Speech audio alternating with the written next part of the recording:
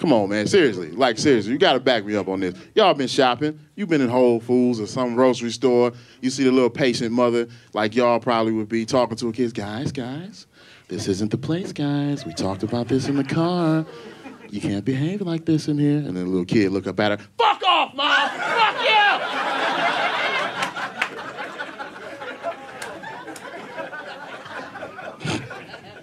you! Discipline these kids, man. So.